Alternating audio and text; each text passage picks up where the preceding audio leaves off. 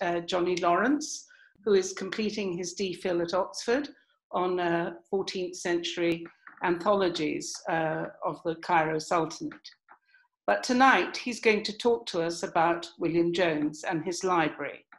And I think his interest in this, um, and you should have all received an article from the, from the journal which he, in which he wrote about on this subject, uh, stemmed from his work that he did uh, on the Jones project at the British Library. So, Johnny, I'm going to hand over to you now and you'll screen share. And I look forward to, I think, what promises to be a really very interesting and talk. So, thank you. Thank you, um, Alison. That's very kind introduction. Um, just before I begin my talk, I wanted to say a couple of thanks. Firstly, to Charlotte, um, Alison, and Matty at the Royal Asiatic Society for hosting me tonight, very kindly inviting me. Um, also to my supervisor, Julia Bray, whose academic support has allowed me to grow in ways I did not think was possible a few years ago. To the British Library APAC team, and in particular Ursula Sims Williams, who generously mentored my doctoral placement at the British Library and provided me with lots of help help in researching the manuscript collection. I would also like to throw out a personal note of thanks to my colleague and friend Fuchsia Hart, who has lent an eye to the odd bit of hard to read script in the Jones collection and provided this literature scholar with a much needed art historical perspective. So, let's begin. Often hailed as a polymath or polyglot, Jones, William Jones, is one of the most fascinating of the early colonizers in India where he established the Asiatic Society in Kolkata in 1784, a forerunner but not parent of the Royal Asiatic Society, who is, of course, generously hosting this evening's lecture. Early members of this Asiatic Society included other colonizers like Francis Gladwin, Alexander Hamilton, and Charles Wilkins, who each, like Jones, translated a wealth of knowledge from Persian, Sanskrit, and Arabic and other languages into English. I imagine that many or most of those in the audience tonight have at least some awareness of Sir William Jones, who died in Bengal in 1794. And I do not mean to hagiographically retell his life story, for that has been done many times before. But for those in the audience with very little background information on Jones, I will provide a potted biography. He was born in London in 1746, uh, and his father died three years later. His mother raised him and then sent him off to Harrow for school. Having studiously picked up Latin, French, Greek, and other European languages at Harrow, Jones took up the private study of Hebrew and Arabic before attending University College at the University of Oxford, where he also added Persian to the list. Jones brought a man called Mirza to Oxford to help him advance in his studies of Arabic, a move which Garland Cannon, one of Jones's biographers, suggests nearly bankrupted him. This Mirza is somewhat of a historical unknown. Supposedly a native of Aleppo, the term Mirza is actually Persian, coming from Amir Zadeh, or child of the Emir, often used as an honorific title to signify a lineage connected to various royal dynasties. It is confusing, but not impossible that an Aleppan would have this name. Given that we have absolutely no other historical information regarding this man, indicative of Jones's treatment of his Arabic, Persian, and Indian interlocutors more broadly, uh, a theme I will return to later in this talk, it is hard to say who he is, how he ended up in England, or what kind of background he came from. In any case, Jones studied the 1001 Nights with um, this Mirza Incidentally, given the subject of the talk, Jones's manuscript copy of the Nights, presumably the one that Mirza copied out for him, is now lost. He continued his studies at Oxford for a number of years, acquiring a fellowship from University College in the process. Across the 1760s, he acquired a name for himself among fellow Orientalist scholars like the Hungarian Count Karoly Reviczky or his fellow student at Oxford, the Dutch Hendrik Albert Schultens, the son and grandson of the two chair of two chairs of Oriental languages at Leiden University, a post that uh, he would later take up himself. As evidenced in his letters, Jones was a keen correspondent with both men and others, with whom he would frequently share insights on matters literary, read drafts and proofs, and comment on publications, much like any graduate student or academic does for their friends now. Coincidentally, and a bit sadly, all three men died within 12 months of each other. Throughout this period, in which Jones applied himself predominantly to literary and linguistic scholarship before joining the Middle Temple, he was also the tutor to the future Viscount Althorp, who would become the second Earl Spencer.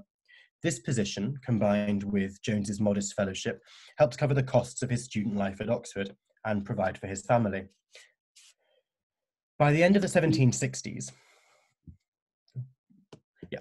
By the end of the 1760s, Jones had acquired such a name for himself that the Danish ambassador to London asked him to translate the Tarikh Nadiri, the history of the reign of Nadir Shah. This particular incident has caused quite a lot of comment from Jones's various biographers, who note that Jones, a classical liberal, was disdainful of Nadir Shah, whom Jones considered somewhat of a tyrant. Here, I would argue we can see a clear influence from the contemporary Orientalist trope of the despot, which worked to minimize the very real tyranny, pillage, and plunder committed by the emerging Europe, uh, East India Company actions in India by maximizing the Persian Shah's commitment of the same sorts of actions. In any case, the translation into French was accomplished and printed in 1769. He went on to publish Un traité sur la poésie orientale, in which he argues, like several other 18th century poets and authors, that Arabic and Persian poetry might be utilized to rejuvenate European poetry and literature. And that's uh, uh, the term I quote from Cannon. During the 1770s, he was on somewhat of a publishing roll, translating the Mu'allaqat, or the seven pre Islamic hanging odes that, according to legend, were hung around the Kaaba into English for the first time. He also produced in this period a grammar of Persian, the Dissertation sur la littérature orientale, and his poems consisting chiefly of translations from the Asiatic languages, this latter text stretching the term's translation and chiefly beyond all recognizable bounds of meaning. In 1774, Jones was admitted to the bar, and from then on, Jones's legal and political careers took off, and he wrote and published several pamphlets and legal tracts. It was also in this period that he cast his eyes on acquiring a potential role abroad, at first unsuccessfully seeking to become the ambassador to Istanbul. Towards the end of the 1770s and in the early portion of the 1780s, having failed to become Member of Parliament for Oxford University, he began to aspire to the vacant judgeship which had opened up at Fort William in Bengal, as he wrote in a 1782 letter to Edmund Burke, at the time the MP for Malton, Jones states that he had hoped for this position not only because of the lucrative financial benefits taking up a position in the East India Company's colonial bureaucracy represented, but also because he might spend his savings acquiring books in Arabic and Persian and in rewarding and translating, sorry, in rewarding the translators and interpreters of them, his words. Following in the footsteps of a man he greatly admired, Edward Pocock, whose manuscripts Jones had diligently studied at, during his time at university, Jones intended to amass a set of manuscripts and return with them from India to Oxford, where they might be housed for future scholarship. Here, for example, on British Library manuscript RSPA 106, Jones notes that he has had his scribe copy one of Pocock's manuscripts, tying himself. So this is a Hamasa, one of Abu Tammam, a copy of Abu Tammam's Hamasa, by the way, tying himself into a chain of scholarship that stretches back to the Lord, the very first Laudian professor. Um, and you can see Pocock's name here if my uh, cursor is showing up, which I hope it is. He was eventually rewarded with the position on the High Court at Fort William and arrived in Kolkata, which is about here, uh, in 1784, where he resided, taking occasional trips up to Krishnanagar, about um, just slightly north of there, to escape the heat and crowding of the city. In India, he learnt Sanskrit thanks to the aid of a man called Ramalochana, uh, and amassed a fairly large collection of uh, Arabic, Persian, and Sanskrit manuscripts, with a few Chinese, Malay, and Urdu texts as well. His wife, ill more or less the entirety of their stay in India, returned to England in 1793. Jones began preparations to return to London and sent his manuscript collection to the Royal Society, instructing Joseph, Sir Joseph Banks to make them available to anyone with a scholarly interest. Presumably, Jones was planning to withdraw the manuscripts and make good on his previous promise that he would bequeath them to the University of Oxford. Unfortunately for him, however, Jones died from an inflamed liver in April 1794 before he could return to England. and so the manuscripts remained at the Royal Society Library before being transferred to the India Office Library in 1876, which was later subsumed by the British Library, where they now reside. For those keen students of Arabic and Persian book culture and history who might be unfamiliar with the British Library's ordering system, you can request Jones's manuscripts today. And they can be found through the British Library's Request Other Items tab, which is available on the Explore function. You then click on the APAC Collections tab and type in the shelf mark RSPA, followed by the manuscript number as found in Denison Ross and Browne's 1902 catalogue, which is reprinted more or less, as Appendix 1 in my own article that you received yesterday. Some of the manuscripts are currently accessible through the Explore function, but given the coronavirus pandemic and the difficulties that's placed on all library work, this has not um, this is not possible for all of the manuscripts. As for Jones's Sanskrit manuscripts, these are also accessible via the same route, but under RST, followed by the number of the manuscript in Tawney and Thomas's 1902 catalogue, which again is reprinted as Appendix 2 in a slightly different order. Aside from this group of manuscripts, however, Jones also retained about 40 manuscripts in various European languages, as well as Persian, Arabic, and Sanskrit, and an enormous European language printed book collection, which was then sold at auction following his wife Anna Maria's death in 1831. The auction catalogue can now be found through Google Books, but the original ledger is actually at the Royal Asiatic Society Library. And were this talk in person, I'm sure I'd have delighted in saying here at the Royal Asiatic Society Library, but alas. These manuscripts were brought by, uh, from Jones by a motley crew of different collectors and people in the book trade. Many ended up in the hands of Nathaniel Bland, whose manuscript collection represents a considerable portion of the John Rylands Library's Arabic and Persian collections. Some of these manuscripts are now lost, like the Nights manuscript I mentioned earlier, or um, their whereabouts or connection to Jones unknown, like the rather intriguing Sumatran Batak manuscript on bark, gifted to Jones by Sir Francis Light, the founder of the colony of Penang.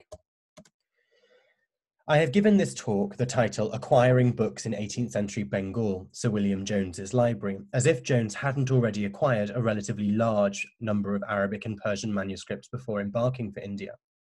These manuscripts, now spread across the John Rylands Library, the Bodleian Library, and the British Library, provide a fascinating testament to Jones as student of Arabic and Persian literature in England in the 1700s.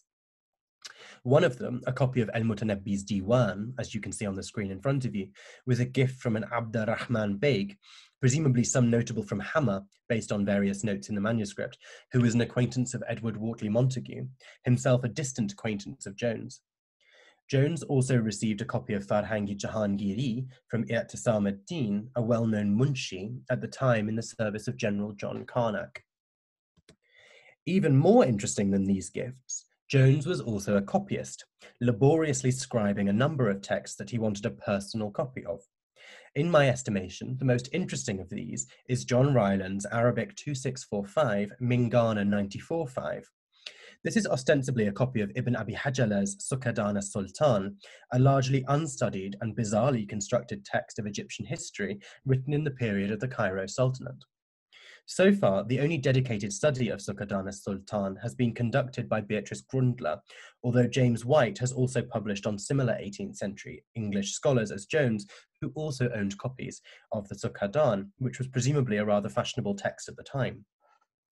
This manuscript is not just a copy of the Sukkardan, however, but also, as you can see, includes a vast cornucopia of material waiting to be studied, including Jones's aide-memoir entitled Keys of the Chinese Language, a selection of extracts from the Hitopadesha, and some short rubaiyat in Persian, among other bits of text. The inclusion of the Hitopadesha tells us Jones took the manuscript to India, where he learnt Sanskrit. However, as I am sure you can see, the manuscript is crying out for a more detailed codicological study than the limited comments I've made tonight, which I am certain would provide a very rich picture of Jones, the scholar, reader, collector, and translator. Now, let us turn in what remains of this lecture to Jones in India and Jones using his manuscripts. In the article you received, I walk the reader through the various processes through which Jones acquired or collected his manuscripts. In this talk, I would like to reflect more keenly not on the physical means by which he did so, but what those means and the traces he left on the manuscripts that refer to those means can tell us about Jones's conception of self as manuscript collector and as scholar in 18th century Bengal. Before going any further, I would like to pause at the image I chose for this evening's lecture. I did not choose this image, which hangs in the print room of the Asian and African Reading Room at the British Library by accident. Taking a closer look at the portrait painted by Arthur William Devis during his stay in Bengal, we get a sense of how Jones wanted to style himself. In the background, the building fits a fairly standard European portraiture motif of the late Georgian period, with the column and curtain a favourite background in images of George III, then monarch, and his son George IV, for example. In the foreground, Jones in full European dress, and I think it's sort of legal dress, but I'm not sure, stands with his hands masterfully poised on an open book with a statue of the Hindu deity Ganesh behind him in the background. The placing of Ganesh on the desk is interesting. It connects the books, the table, and writing material, so central to Jones's career as scholar and lawyer, with the iconography of the world around him in India. Ganesh, on the table surrounded by books, becomes the very embodiment of the Orientalist appropriation of Indian and other cultures as objects of study. We can imagine Jones writing a description of the statue in front of him or using the statue to improve his understanding of Indian religio-cultural practices. But what is crucial is that Ganesh is the only image which might point to India at all. By this, I mean that the image constructs Jones as the archetypal European, moving to India and collecting items, be they textual or material, for study. The context of those items is then whitewashed, represented with a European background, divorced from their contexts. This, I would argue, is emblematic of some of the ways in which Jones treated manuscript acquisition, both in terms of the actual methods of acquiring texts and how he worked with those texts once acquired. I began working with Jones's manuscript collection during my doctoral internship at the British Library in the few fleeting months of 2020 before the country locked down. I set about cataloguing the Jones collection, and in so doing, I tweeted and Instagrammed and otherwise shared a number of images of Jones's manuscripts, either as, as advertisements for blogs or to promote the project. I remember well when either I or the British Library Asian and African Twitter handle, tweeted a series of pictures like the one on your screen now, uh, which showed Jones writing his name rather pointedly just before the text on the manuscript's first folio. Usually, although not always, Jones would scratch his name in thin black ink directly onto the gold box decoration in the text's headpiece, to use Gacek's English term for what you might know as the sarlawh or onvan, as you can see here and here. Upon tweeting these images out to the Twittersphere, I was struck by the intensity of the reaction of many colleagues, objecting to what they saw as the desecration of manuscripts by a foreign hand. I had by that time grown so used to seeing Jones's scribbles all over manuscripts that I had in some ways stopped noticing these moments in which he very literally signs his name onto the manuscript text. But it is in this simple signing of the name that um, and in the choice of where to sign specifically, the permanence with which he makes his signature, that we can see how Jones's conception of self as manuscript co collector emerged most clearly. Now, looking at Jones signing his name in the gold piling of the manuscript, uh, in the headpiece of the manuscript, and I'm going to move to this image because it's slightly clearer. You can see it here. Um, the literal imposition of a name into the headpiece stakes a claim of permanence on the manuscript. The manuscript becomes indelibly tied in a very obvious way to W. Jones. Usual Arabic, Persian, Indian practice, of course, is through seals or ownership statements, which tend to cluster, although not always, and sometimes they're found dotted throughout a manuscript, on either the first folio before the text block or on the final folio after the text block. That is not to say that such custom is never broken by those uh, Arabic, Persian, Indian, or, or, or, beyond readers. As you can see on the screen now, a different manuscript from Jones's collection, his copy of a portion of El Mas'udi's Muruj al-Dhahab, has a previous reader here um, write all over a part of the Onvan. However, signing one's name into the gold cartouche into the text block itself presents us with a different image. We might be tempted to turn to Sara Ahmed's work on use here and think about how objects can tell certain stories through the way they have been used, the object's biography. The cartouche or headpiece is not intended for someone to sign one's name. That it can be used for this purpose makes the use unusual and worthy of comment. To me, and this is conjecture of course, the cartouche is shaped as a little box above the block of text in such a way as I can almost imagine myself and Jones thinking that the block ought to be used for one's name. But in using the manuscript in this way, the manuscript becomes less receptive to future users. After all, there is only room for one name in the tile. In this way, the name stakes some sort of permanence and ownership, making the manuscript cling to Jones in a way that future users cannot restake a claim of ownership on the manuscript in the same fashion. And if we think about uh, the fact that Jones was always acquiring these manuscripts for a library, which is something that will come up a couple of times in this lecture, there was never any doubt on the fact that this was going to stay a Jones manuscript in his mind.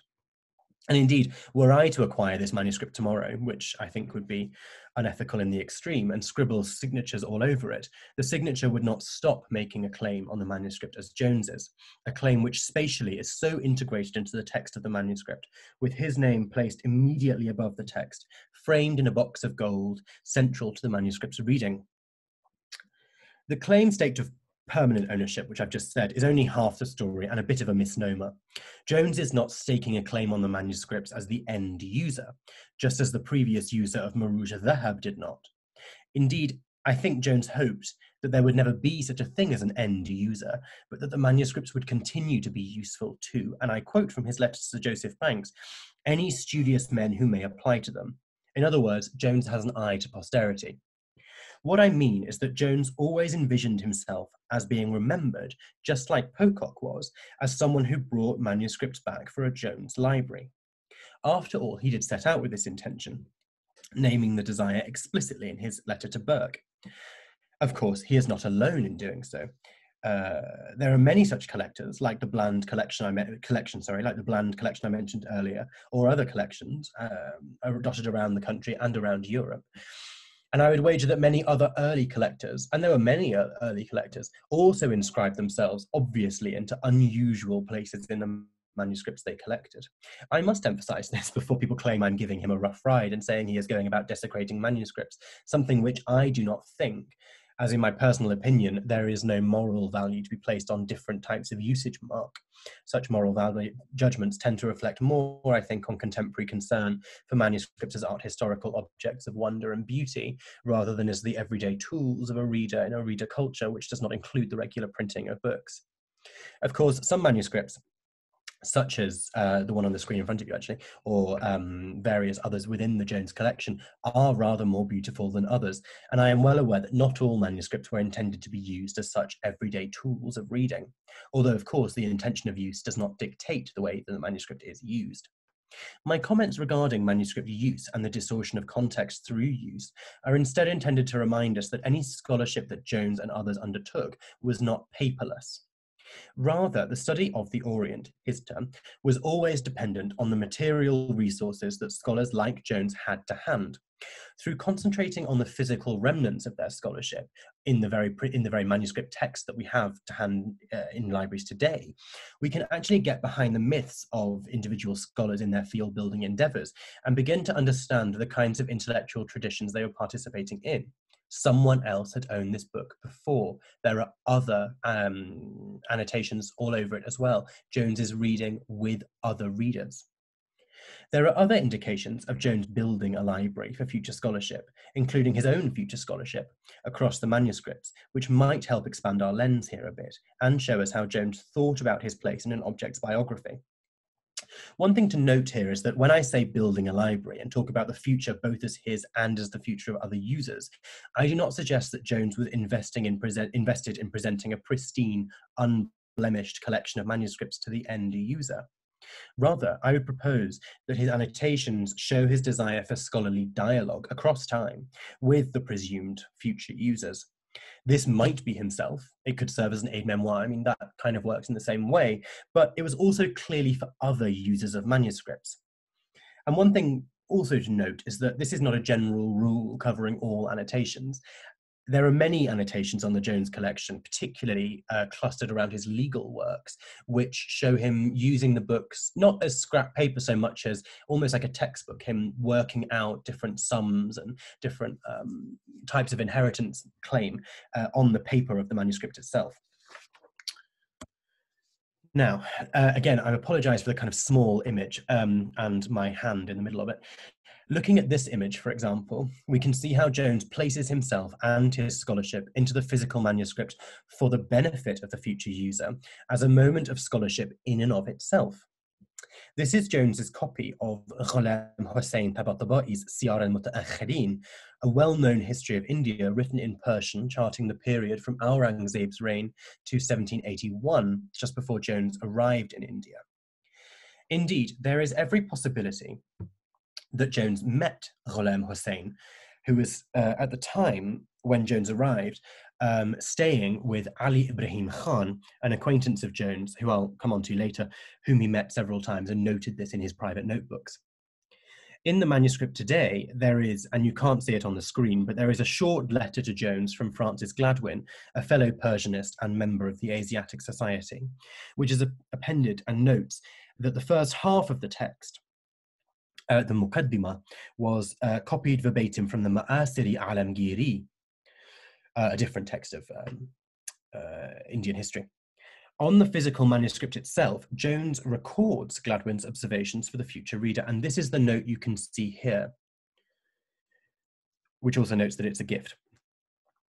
Uh, the note works to safeguard the intellectual property of Muhammad Saqi Musta'id Khan, the author of the Ma'asir, whose work, according to Gladwin, has been cribbed.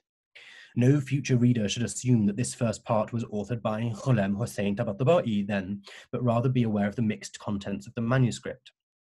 This sort of note, of course, is predicated on uh, an assumption about text and historiography that is alien to the writing culture in which the texts were created, but that is a story for another day. Back to Jones. This is not the only example. Noting on one of his copies of Farhangi Jahangiri, not, by the way, the aforementioned copy given to him by I'tisam ad-Din, that there are many corrections to this valuable work in two works, the Siraj al-Lughat by Siraj al-Din Arzu and the Majma' al-Lughat. Jones makes comments upon the quality of the text in, inside the manuscript. I will leave you to wonder the value Jones ascribes to this lexicon, which he describes as requiring many corrections. But it does point, however, to Jones looking at the manuscript with an eye for the future and a philological eye, his desire for the future reader not to accept the contents of the text as blank, unproblematic information. Rather, this is a moment of Jones's scholarship. He is holding the hand of the reader to some extent, reminding them that the dictionary may itself mislead, that the student will have to seek out knowledge from other sources to supplement and complement the material in the text. In both of these notes, and in many other similar types of note uh, across his collection, Jones is very specific about how a future reader ought to interact with the material. The traces of his use, his annotations, ideas, notes, and name tags serve to inform the future reader, and in doing so, shape the way the reader interacts with the text. The use of the manuscript manuscript then imprints Jones into the reading of the text, in that his framework, his reading, becomes that within which the future reader works. This is what I mean when I say Jones is engaging with future scholarship through a performative note making, and in many ways makes the manuscript cling to him, just like signing his name had. Acknowledging, once again, that his stated intention all along was for these manuscripts to be housed in the Bodleian or the Royal Society Library, Jones is always aware that his intrusions into the manuscript do not end with him, but rather are visible for future readers. And this is most evident, I think, in his Sanskrit manuscript collection, in which almost every single manuscript includes a title page of varying detail, specifying the manuscript's contents for the future user and librarian. And it's this sort of note that we have here, title page and uh, discussion of the contents, that we tend to see in, this, in the Sanskrit manuscripts, much more than in the Persian and Arabic ones. But what sorts of scholarship from his own time does Jones acknowledge?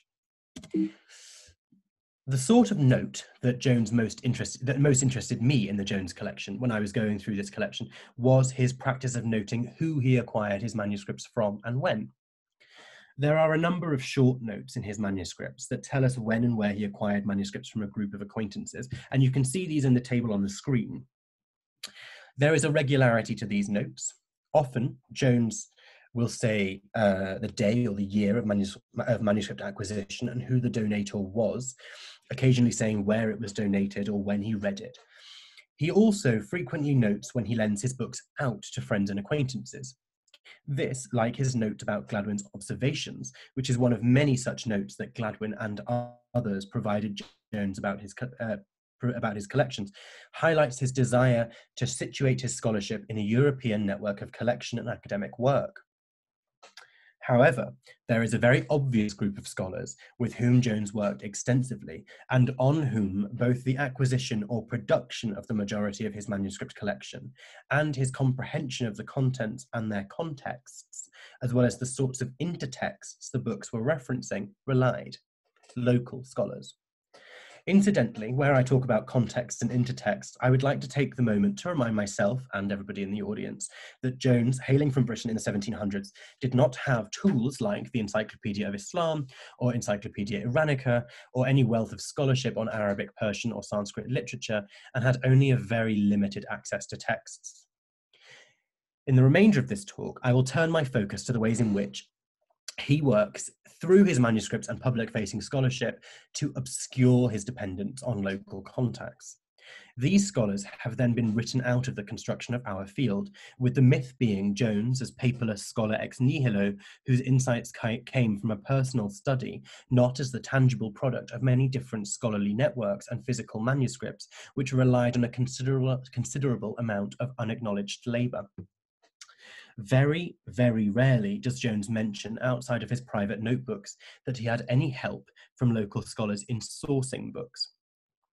In his letters to other Europeans, we only find the faintest of traces of specific figures, like his scribe Haji Abdullah, or the chief magistrate of Varanasi, himself an exceptionally important Indian scholar of the 18th century, the aforementioned Ali Ibrahim Khan. Nowhere does he mention the many different colleagues with whom he regularly conversed about books, where to acquire them, which to get, what they said, what they were referencing. Figures like Abdul Majid, Abdul Rahim, Haji Ghulam Ali, all of whom offered to buy Jones' books on their way to or from pilgrimages, remain complete unknowns. Did they? I don't know. There are books in the Jones collection which appear to have travelled from as far afield as Egypt and Yemen. Were these brought back by these men? We will never know because unlike his modus operandi when it comes to receiving books from European scholarship, from European acquaintances, Jones never tells us. One of the most glaring uh, omissions of this variety concerns a man called Sayyid Azhar Ali Khan, whose seal you can see on the screen in front of you. Jones refers to him once in his letters as his Persian munshi, not by name, he was the son of Nadir Shah's doctor, who came to India during the former's invasion of the Mughal Empire in 1738 to 1740. Presumably, the doctor stayed. Why this omission is so glaring is the preponderant role that Azhar Ali Khan clearly played in guiding Jones's intellectual journey. The work put in is not reflected by Jones's citation practice, to borrow the terms of modern scholarship. I first began to be interested by this man when I realized that his seal was present on six of Jones's manuscript holdings, by far the most common seal in the collection. I assumed that either Jones had acquired the entire collection together because of the dates on the seal, perhaps through an auction, or that he knew Azhar Ali Khan personally and acquired them directly from him. It was only through using his private notebooks, where he jotted down the different meetings he had with various men and the names of acquaintances, as well as their occupations or specialisms, presumably to help him remember who all the different people he came into contact with were, that I could work out who this was. In the notebook, Jones returns again and again to the name, saying he set up meetings for him with eminent intellectuals, or gave him books, or bought books on his behalf, or brought him books from his private collection, or recommended that Jones take a look at other books. It was only when he once noted the factoid in the notebook about his father that I could put down, put together the uh, identity with the contact.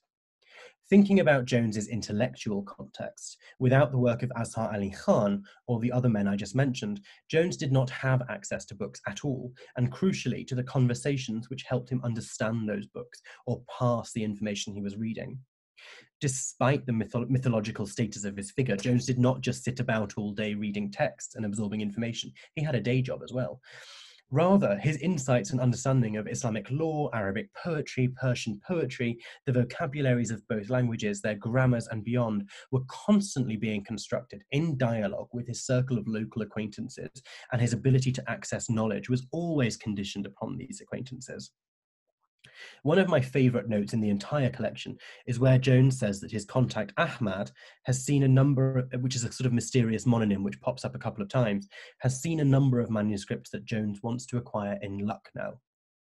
What the note reminds us is not only that A, in order to possess a book or to access its knowledge in a more ephemeral way, the manuscript had to exist in the first place, but B, Jones had to know it existed. C, that manuscript's whereabouts had to be found. And D, he had to be able to get there. Another man who gets a fairly rough ride in Jones's notes and letters is his Arabic scribe, Haji Abdullah, who I have mentioned a few times. Haji Abdullah was a very important contact for Jones and personally contributed 11 manuscripts to Jones's 119 Arabic and Persian manuscripts, all of which uh, he scribed for Jones. In his colophons, an example of which you can see here, he gives some details about his life. He had completed the Hajj at least twice, resided for some of his life between Mecca and Medina, and was a scholar using both Persian and Arabic. It appears that his father may also have been a scholar, but it's not clear. In every single colophon that Haji Abdullah writes, he writes fulsome and lavish praise for Jones, his employer, noting his position on the High Court, referring to him with a string of superlative adjectives. By contrast, Jones only makes two mentions of him in public facing writing, i.e., not in his notebook. The first, in a little manuscript note, shows Jones calling him a boy that he got to pen the work. In the second, in a letter, Jones calls this erudite scribe a wild little native of the Arabian Peninsula, I don't think I need to insult your intelligence by going on about my point here. This man who was so crucial to Jones's intellectual formation, who was a frequent conversation partner, according to the notebooks, a man without whom Jones did not have access to a great number of texts in Arabic, is simply written out of the narrative, infantilized and turned into a wild little native, a man on whom Jones does not recognize his scholarship depending.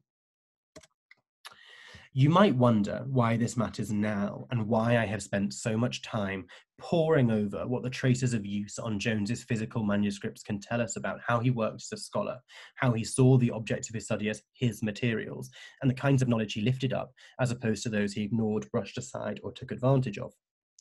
With growing calls across academia to decolonize university education, knowledge production, and the ways in which we research, we must think seriously about what such decolonization might look like and how we might apply it in our own fields. I can think of worse things to do than to reckon with the foundations of the field, with figures like Jones, who were at one and the same time colonizers and scholars. Jones has often been somewhat hailed as a hero of humanities academia. There have been a great number of hagiographic biographies which tell the story of how this man, from supposedly middle class origins, rose to become an unsurpassed scholar. His mastery of a great number of languages and his prodigious publications in his short life, publications which remain useful sources of information to us now, have given him the dubious honour of being a role model to many scholars over the, uh, past 200 years, who see in Jones a model of cross disciplinary scholarship, with his academic work bringing the cultural product of Asia to European audiences for their consumption, as if that exposure or consumption is inherently beneficial or important to the cultural product. Jones is cast in this reading as a somewhat sympathetic figure, a man enamored with the Orient, as he termed it, whose affective identification and empathetic compassion for the objects of his study, the wine evoked by Hafez, the landscapes in the Mu'allaqat, the theatrics of Kalidasa, an affective identification which does not stretch to the wild little natives of the lands from which they came, somehow makes up for the colonial project inherent within his life and scholarship, something which, by the way, has barely been touched on in modern academic publications on Jones at all. Turning back to the focus of this lecture, Jones's books, we have seen how this image of the polymath scholar expeditioner is only a very partial image of the man and his work, and the veneration of this image both buys into Jones's own self-mythologization and the colonial orientalizing epistemologies which produced it. In particular, let us reflect on the way Jones skates over the dozens of local informants and contacts who shaped his knowledge and publications, and who are now only visible to us in hidden archives, private notebooks, seal records, purchase notes, joining up the dots. When we bring these names to the surface, the image of Jones as scholar ex nihilo begins to crumble. He may have had great affective identification with the textual study of Arabic, Persian, and Sanskrit, but should his treatment of Arabs, Persians, and Indians be ignored when we appreciate the ways in which his knowledge is constructed? In calling Haji Abdullah a wild little native, we can see summed up very succinctly the contradiction at the heart of Jones's scholarship and scholarship on Jones. His failure to cite his interlocutors, his presumption of the knowledge that they provide, and even the very physical material realities of the texts they provide for him, and his disregard for them, writing them out of the story, allows him to be constructed by us and by him as a kind of father of this field, one of its progenitors, or as the master scholar who brought literature in Arabic, Persian, Sanskrit, and beyond to academic study. This expropriation of knowledge is dependent on an inherent colonial logic, a logic which sees the peoples of the Orient, the texts they produced, the services they rendered, as inherently unimportant. I am not calling, and I can't stress this enough, I am not calling for us to ignore the vast contributions that Jones uh, made to scholarship, or for us to write him off as some evil colonizer. Rather, I am calling for us to contextualize him, to normalize him, and to get to the man behind the myth and to remember that in the logic which sees knowledge as something waiting to be discovered and brought back, modern emulation and veneration of Jones in academic scholarship is likewise predicated on silencing and erasing the contexts out of which that knowledge comes, just like Ganesh sat on Jones's table. And I thank you very much for listening to me talk for about 45 minutes. So um, I look forward to questions. And um, here's my contact details if you would like to get in touch. Should I stop sharing my screen, Alison? Yes, yes. Thank you very much, Johnny. Uh, I'm sure there'll be lots of questions. That was an excellent, very thought provoking lecture. Um, and um, if you would like to um, make questions or put questions to Johnny, perhaps you could use the chat uh, and type them um, at the bottom of the, your screen. You can see them there, see it there. Um, Right, let's just if he's, yeah, um, I'm just waiting now.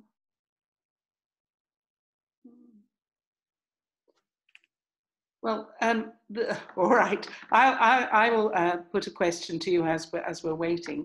Um, I, I, think it's very interesting the points that you raised about uh, all, um, you know, where his omissions, if you like, um, of, of his sources. And I think that's a, that's a very important point because there was sort of, as you say, this jump and this gap.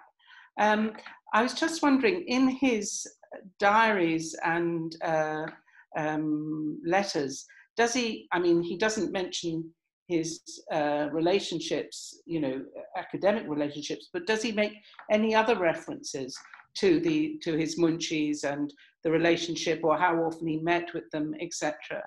So not regularly, um, but occasionally you will find mentions of um, Jones, particularly talking to Haji Abdullah and um, his Persian munshi, who I, I, worked out to be Azhar Ali Khan. What we um, tend to see in the letters and the and the um, scholarly apparatus together is the he he tends to write um, about pundits and Maulvis in a rather disparaging tone as this kind of group of people who are preventing him from getting on with the daily business of running the court in Fort William. The other person who he does talk about at length is um, Ali Ibrahim Khan, who he had a great veneration for, and of all the various scholars uh, of the uh, who were resident in India, Ali Ibrahim Khan is the one that he mentions the most and has the most respect for by far. Uh, but I suppose that my comments refer mostly to um, the fact that they tend to be unnamed. They tend to become these kind of helpless, useless people in his life. But in the notebook, in the private notebook, they're very important, quite distinguished scholars, some of whom ended up writing books that were in his collection, which we don't find anywhere else. because I was just thinking, uh, I mean, when you were saying all the nice things that they, they, they said about him in the, colophon. He was clearly friends with these guys. That's why you want to see more of it. Yes, I thought that they must have had a warm relation. Mm. You hmm. know, in in reality, although he, yeah. he, you know fails to acknowledge that. So behind that, there must have been a relationship to for him to sort of you know garner all this knowledge from them and to go forward. Right, yeah. we, have, um, we have a, a question here. Um, I just uh, um, right. Uh, oh, this is a comment. I think this is from Julia Bray. Uh, she says Jones's memorial stone calls him the lawgiver of the Hindus. So I don't know if you want to. uh, actually, there is a very interesting um, comment to be made on that, and it's I'm just going to reference um, a really, really, really formative um, paper that I read that was really useful in shaping my thoughts about the collection, which is Gillian Evison's um, by uh, discuss- discussion of a collection of um, Sanskrit manuscripts that are uh, housed at the Bodleian, and um, they in that article she talks at length about how many of jones's attitudes which are evident in his uh, creation of text or his use of text about hindu law and as the hindu lawgiver um, stem from his kind of misunderstanding of the bases on which hindu law was founded. Um, so i'm i'm just completely parroting uh, Professor Evison on this one, but um, his his different epistemology and his different outlook on what law means, where it can be free flowing and open, uh, in in comparison to a kind of English rule book and statute. So uh, yeah, there's an interesting thing to be said, I'm sure, about him being the rule giver of the Hindus. Right, now we've got we've got a few more. Um, could you tell us a little bit more about his Sanskrit manuscripts? Um, are they on paper or palm leaf? Were they made um, for him or bought? And if bought, where were they from? And are there any particularly that are, that are particularly rare? Um, unfortunately for you in the audience, I'm not actually I'm I'm not a Sanskrit scholar, and I don't I don't know um, Sanskrit at all. I have looked at the manuscripts of them. Um, I can't speak to the rareness of them. I, I'm not familiar enough with the literature. Um, what I can speak to is that they're very beautiful. A lot of them, I think, were made for him. There's a couple, and I mentioned this somewhere in the article. There's a couple that are um, clearly by the same hand, which might indicate that they are um, Jones's own um, a scribe of some sort. Um, they tend to be on paper but i i mean it must be quite common but there's some very long thin ones. Again i'm not a scholar of sanskrit so please uh, correct me someone if i'm completely wrong. There are also the, there's about two i think on bark but not many. Most are on paper but it's very long paper. And uh, jones's manuscript of quran uh, rspa 82 is quite different from the rest of the collection particularly its paper is it the manuscript he was gifted by the King of Anjouan when Jones visited the island on his voyage to India? I don't think it can have been because it was scripted by Haji Abdullah, interestingly enough. Um, he may have had two Qurans, I don't know. The only one that I've seen is the one that's in the um, in the what's it called uh, British Library, um, and that one is script. It's in the same script and style and the same paper. It's in, in it's in European paper as um, the others by uh, Haji Abdullah. And we have one here from Jake Benson. Is there any evidence that Jones commissioned professional scribes other than Haji Abdullah Makki to copy manuscripts to copy manuscripts for him? Um, have you found any other references to him as the patron who commissioned um, uh, manuscripts. And um, Jake says, I've read that Nawab Ali Ibrahim Khan Bahadur presented Jones with the Tuhfat al Hind that he copied. Yeah, so the Tuhfat al Hind is a very important manuscript in the Jones collection. It's um, absolutely covered in notes that Jones made in marginalia, in um, uh, different translations and comments and ideas. It's a really fascinating manuscript and well worth um, someone taking a look at. Um, it, it, and it's also very beautiful. It's got beautiful gold leaf paper all over it. Um, that was given to him by Nawab Ali Ibrahim Khan. and uh, is mentioned in his letters where he talks about how he's received this wonderful manuscript from Ali Ibrahim Khan. Um, in terms of other manuscripts that Jones was a patron for, I don't know if this one counts, but um, the manuscript uh, Divan, again, that James White wrote an article on uh, by a Persian poet called Ishq. Um, Jones has a, a poem commemorating him in that. As for other scribes, there is one called Izzeddin, who Jones had um, copy and actually is in a very similar way kind of unknown uh, other than through this um, like Haji Abdullah who Jones had copy his Persian manuscripts these being um, Bustani Khayal and um, a copy of the Shahnameh and a couple of other key texts that Jones wanted pristine copies of and I have another another question. Are, are you are you all right? Just a few more. Um, this is from Lindsay. I agree with Johnny's appraisal of erasure. I wanted to mildly query the inherent colonialism in his approach and suggest in construction colonialism, a continuous act of construction. But my more specific question is about the painting. It is a format incorporated from 16th, 17th century painting into the uh, Isfahani oil painting in the 17th century. Um, I wonder if one could take the portrait in more than one way. A non classical element in such a portrait in a European context is a highly unusual feature. So one could take this as his partial subversion of the form as well as an appropriation of decontextualization. Maybe actually, Lindsay, you should unmute, or we unmute you so that you can sort of, because I think it's quite a long question and quite complicated, just um, so that Johnny can, can uh, answer it. Hi, yeah, thanks very much, Matty and, and Co for unmuting me. Sorry, I raised my hand earlier because I thought this is going to be too long to type into.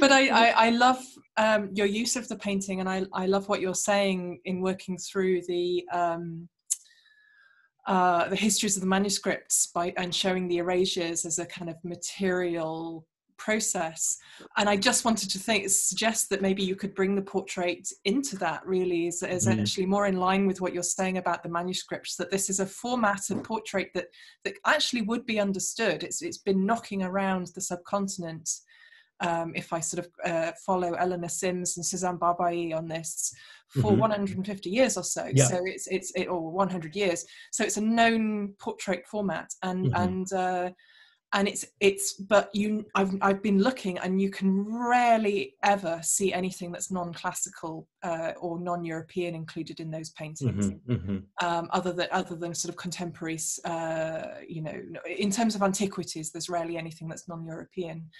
Um, and so I just wanted to say, and maybe you could, you, it, it is worth saying something more about that. Like maybe it, you can see it as a partial subversion. I don't know. Is there space in in your? Oh, definitely. I think that there is so much space, um, which is kind of what I wanted to get at at the end, where I was saying that I wasn't uh, actually really criticizing him, uh, so to speak, but rather just thinking about this as a kind of like normal um, or a normal i don't know. Anyway yeah i definitely think so. I mean there's so much space within jones's work to look at him as uh, an open-ended figure in many ways who um, used the materials of study in some in some ways that we that i've talked about as erasure but also did do a huge amount of non-erasure in that you know there's so much publishing on various different elements of um, Arabic and Persian literature and, and beyond, uh, such that, uh, yeah, completely, I do agree that there is so much space for it to be uh, a subversion within the mode of portraiture. I mean, I'm not personally an historical person. I don't know the history of that portraiture at all. So it was kind of my own interpretations looking at it immediately, if you know what I mean. But um, no, I really take the point. I think that's a really good point. Thank you. Right. And we have another one which is quite specific. It's referring to verses on, on, on, a, on a very particular manuscript. I don't know, it's RSPA 32, um, where, which the translation is here, O Yunus, act justly and virtuously out of love. It's in Persian.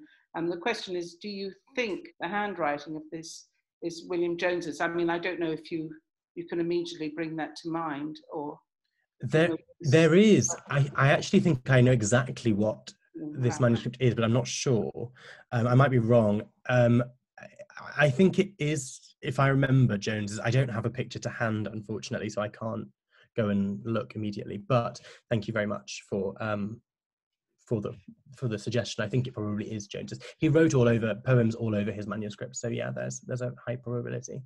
I mean, when you're looking at the marginalia, um, do you feel that you you get to know his processes and how he's to the point that you can see a tick being his or a tick being someone else's. So it's yeah. i remember just within the first few days of going through these manuscripts seeing such regular types of marginalia and there's so much valuable stuff in there that really um, it warrants so much further study much more than i've been able to give it so far so. Right um, and we have a, another i think you answered this this is the, really the question I gave to you from Christina, but I'll, I'll read it out anyway. Is it possible to reconstruct how Jones was perceived by the persons he was in contact with, except for the copyists who worked for him? Um, ooh, well, I think yes, because well, I mean, I have, you sort of have to trust, I suppose, the comments he's making. But if he's writing in his notebook all the time that people are willing and um, and very um, keen to go and get manuscripts for him, to go and pick up things for him, or to give him uh, valuable bits of bits of text or whatever, um, and to be in conversation with him, he's got lots and lots of interlocutors who are um, bringing him to meet all sorts of people. He clearly had extremely warm relations with these people, in my opinion. Hmm. As yeah, as we talked about earlier. And then there is a request to see the portrait again. I can uh, share my screen again if people would like. And um, oh, I can't find it. That should be working there. There we go. So that should. Right. If anyone wants to to make comments on that. And I think, um, Ed, would you like to give your question and, and unmute you uh, for, for, Johnny?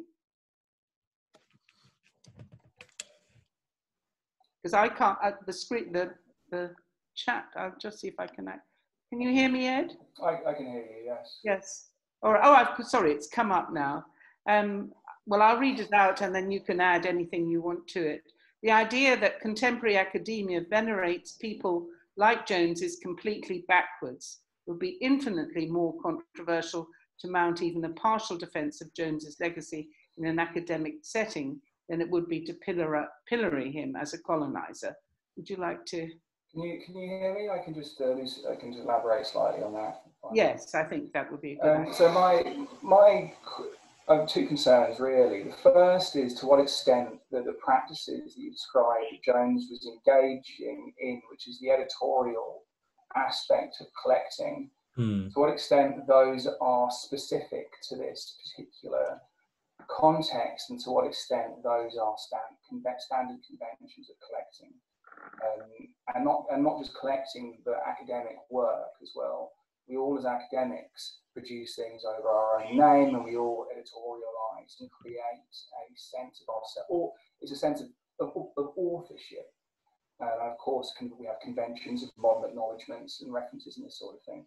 But I, I think there's, there's, a, there's a strong danger and I, I think temptation to uh, interpret some of these things in a particular direction, which is what I'm, should I say, my experience of, of recently is very much that the temptation is to decry people like Jones and um, to underestimate the, the world historic contribution that Jones and people like Jones made to the modern mm-hmm. humanities, mm-hmm. notwithstanding the fact that it was within deeply imperfect historical circumstances, i.e., the origins of modern imperialism. But this is the first time that we really get this um, transcontinental transmission of cultural heritage. As I say, in deeply imperfect circumstances with people who are bound up in the colonial enterprise and imperialism, which had all kinds of disastrous effects for, for many people. But the it's it's the, it's very easy to overlook what there is to be valued in what Jones and his ilk were doing. Um, and if he's not going to be defended at a talk at the Royal Asiatic Society, then then he never will. So hence, why that's my that's my. Uh... I will um, say on that that I never claimed to be doing a defence of Jones in my talk, and I would never say that the Royal Asiatic Society has to be engaged in that kind of talk. Although I obviously don't work there, but what I would um, respond to on the conventions of authorship, my main concerns about that, I suppose, stem from the fact that Jones is quite big on um, his citation practice to i can't think of a better term. He is very big at, he he really does a very good job of noting exactly when and exactly how and exactly from who among his friends and acquaintances of a european background gave him and provided manuscripts for him which is where i first began to notice a sort of disparity between how he was treating um, non-european and european scholars. And i think you're absolutely right that this is a convention of scholarship that uh, perdures until today and he was working within a certain world, etc. I completely agree with you, and I am certainly not devaluing Jones's historical or world historical legacy, and I would really not like for that to be seen. Partly because, um, frankly, so much of well, I mean, so much of the history of Arabic literature as a field is dependent on people like Jones, who managed to do the first translations in very complicated epistemological circumstances, which I have mentioned in this talk, including the complete lack of any kind of scholarship, well, not lack of any kind of scholarship, but lack of most scholarship before them. And you're absolutely right. It is so easy for me to sit here and criticize Jones when I have all the world at my feet in terms of scholarship. And I completely agree with that point. But what I am saying is that that's not a reason to necessarily defend every single practice that Jones did or every single treatment of uh, other people. I find the way I find the idea that um, his treatment of Haji Abdullah, for example, who is one of the big names in his in his scholarship, is um, normal. I don't think it is normal, um, and I don't think that we should shy away from explaining or pointing out perhaps colonial epistemologies where we see them partly because if our scholarship is going to be future facing which i would like to think that most scholarship is future facing we have to be careful not to repeat the same logical problems. I mean, really, when it when it comes down to it, I could I could talk about you know lots of things to do with Jones, but also lots of other scholarship, my own scholarship, and the way that I disregard loads of people, I'm sure, all the time. But it, it's just something that it came to, you know, it's something that I think is worthy of comment. Um, that yes, he's participating within a certain epistemological space, but um, he and yes, there's lots of value to be found in his work, but this is also a certain element of his work that we can look at, if that makes sense. Thank you. Um, I have a, um, a request I, from uh, Rosane Rocher. I don't know if, if she just said she would like to ask a question on my chat. So, um, Ro Rosane, can you hear me? Can you unmute? If you'd like to ask your question. No, maybe she's, she just put a message, Rosane would like to ask a question. Anyway. Can you, can you hear? Yes, yes, I can hear you. you. Please, go ahead. How are you? Nice to see you. Thank you. Nice to see you. Uh, um, I'm, I'm, I'm, sorry, I'm a, a, a nitwit at uh, electronics. Uh, and I'm, fine. It's fine. being retired, I haven't had to, to uh, learn about uh, Zoom much earlier. Uh, here, here's first, uh, uh, thank you for um, uh, uh, insisting on studying the, the use that uh, Jones makes of his manuscripts. But I'm a Sanskritist, so I just would like to ask you if you have tried to track down the, the, the, later fate of manuscripts that were sold, sold at the, the, the public sale of, of his library. Uh, I just found recently that Sanskrit manuscripts that I had been searching for for years um, are in St. Petersburg. Uh, they had been acquired by uh, the bookseller Cochrane. Mm. And the person who negotiated the sale was uh, Friedrich Rosen, uh, who was professor of Oriental uh, languages at the University of London. Now, uh, uh, Cochrane also bought manuscripts in Persian or Arabic. I'm sorry, I don't know because I don't know how to differentiate those. But um, it is just possible that I only know about Sanskrit manuscripts because the, the, the collection uh, was catalogued in the newspapers of the time. But uh, I, just wonder whether you might find also some manuscripts there, or if you have found some manuscripts there. So um, thank you so much for that uh, point and for coming. Actually, um, I found your articles in the writing of this so in fascinating. Um, so uh, Jones's Sanskrit manuscripts, as I say, unfortunately, I'm not a Sanskritist, and I have a bit of a barrier because I I can't approach the text so um, I've always had difficulty with the Sanskrit ones for that reason. Um, but yes, so Cochrane I, I, found a problem when I was looking at the texts that were sold at the auction because as soon as you get to Cochrane, you have to. It's kind of hard to get any further. So it's actually I'm really glad that you said about the one St Petersburg because that clears up a certain manuscript trail. That there are um, there's a number, and it's mostly Sanskrit actually, that gets sold at the auction, um, which go to various different figures, some of whom I have managed to track down. And there's a couple that are in the Bodleian, there's a couple that are in the John Rylands, but there is not, um, a lot of them are still unknowns to me, which uh, I think would require only a little bit more cur- like curatorial work, which I've not actually at the moment had time to do, but um, in the future would look to do. Thank you. Well, thank you. I think we will finish there for, for, for this evening. Johnny, thank you thank very you. much for a really interesting and thought-provoking uh, um, um, talk. I mean, it's another, it's another way that we can sort of understand Jones, another way of understanding his work. And I think it, it's, it's, it's very important, uh, you know, especially when you have access to the, the books as, as, as a group you know, in the library. So it must have been a very interesting project. It was very, very interesting, yeah. yeah. So I hope there'll be more on this. And uh, thank you very much indeed. And thank you everybody for attending tonight.